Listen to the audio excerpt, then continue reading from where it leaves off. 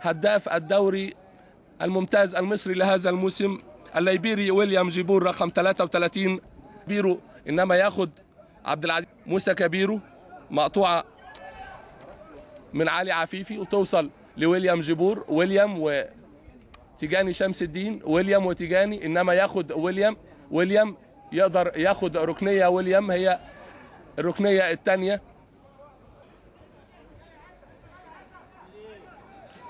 أدي تيجاني. والضغط من ويليام جبور. جمعة على التنفيذ الركنية يلعب الركنية على القايم الب... ويليام حفني يمر حفني من إبراهيم الحاسي حفني والتسديده إنما تيجي في تيجاني شمس الدين.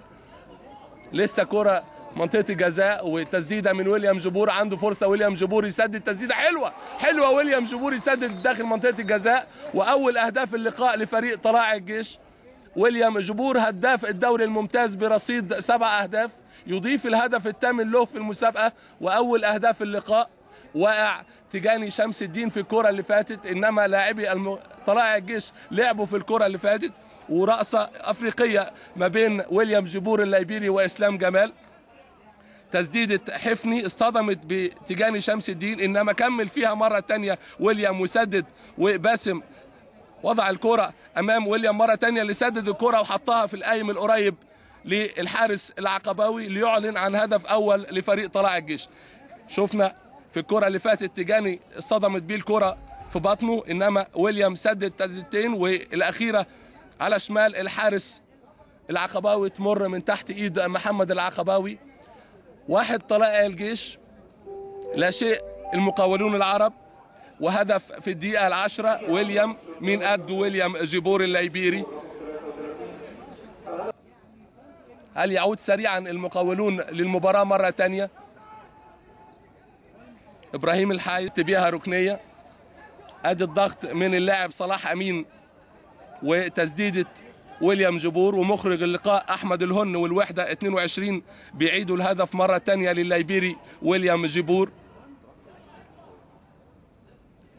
مرة تانية في الشمال.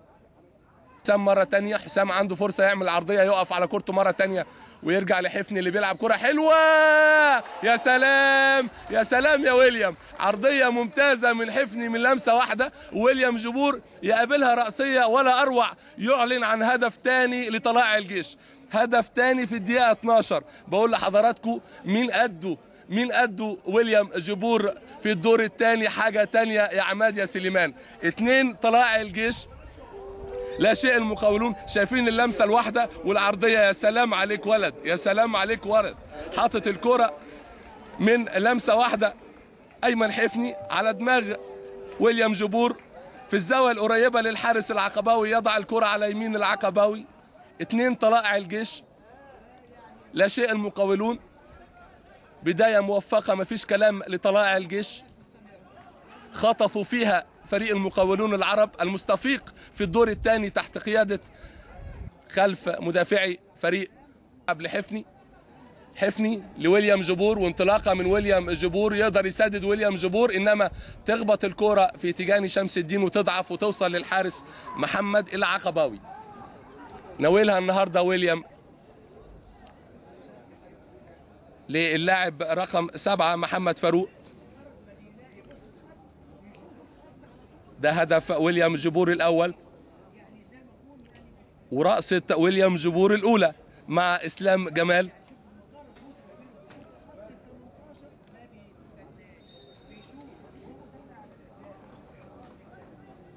أدي الرأسة الثانية من ويليام بعد الهدف الثاني. يا ترى هنشوف كبيرة أمام فريق النادي الإسماعيلي صفر أربعة. ثم الاستفاقة على فريق بوت علي في الكرة اللي فاتت ويليام جبور ومحمود عزت يعمل فاول ويليام جبور يعمل ال tackling ويلعب الكره لويليام جبور ويليام وانطلاقة من نص الملعب ويليام جبور عنده فرصة يمر من اللاعب محمود عزت ويليام مباريات المجموعة الأولى بلقاء الجونة وحرس الحدود وقدر فريق الجونة بمدينة الغردقة أنه يحقق فوز غالي النهاردة بهدف على حرس الحدود. النهاردة في ملعب المقاولون اللي بيستضيف فريق طلائع الجيش انتهت المراوغة ويقدر يسدد حفني إنما يطلعها ويليام جبور يسدد أعلى عرضة العقباوي. في غياب الرقابة ويليام جبور ياخد الكرة المرتدة من اللاعب تسديدة حفني بنشوفها مع بعض تترد من محمود عزت مرتدة إلى اللاعب ويليام ما بيتواناش. علي توصل لزيكا. زيكا وإسلام ياخد إسلام جمال. ويليام جبور وانطلاقة من الطرف اليمين ويليام جبور. ويليام لحفني. لويليام جبور مرة تانية يدخل منطقة الجزاء. ويليام جبور وتسديدة إنما تمر من أمام اللاعب صلاح أمين. صلاح بيكلم مع ويليام جبور كان يقدر يلعب الكرة العرضية بإتقان أفضل من كده. إنما عملها له من لمسة واحدة حلوة قوي. أيمن حفني في الكرة اللي فاتت. مرة تانية المقاولون العرب. عماد سليمان مع حنفي. قوة في الأداء ما بين لاعبي الفريقين. ويليام تشير واحد من نجوم الكرة المصرية. ما فيش كلام كابتن. كأس العالم بجواتيمالا 2003 كأس العالم بجواتيمالا 2003 حفني انطلاقة من حفني ومعاه محمد عادل واقع في الكرة اللي فاتت تجاني شمس الدين وبيخرجها حفني. دكتور سعد شعبان.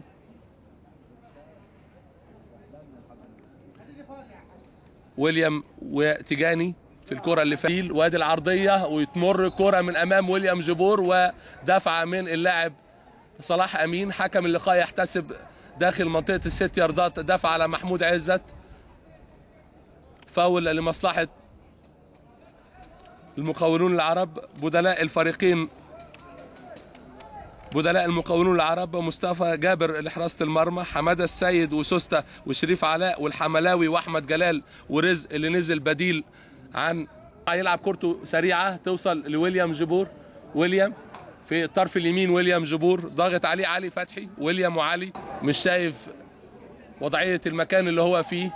بنلعب في الدقيقة 32 من عمر وأحداث الشوط الثاني تعادل هو سيد الموقف بين المقاولون وطلائع الجيش.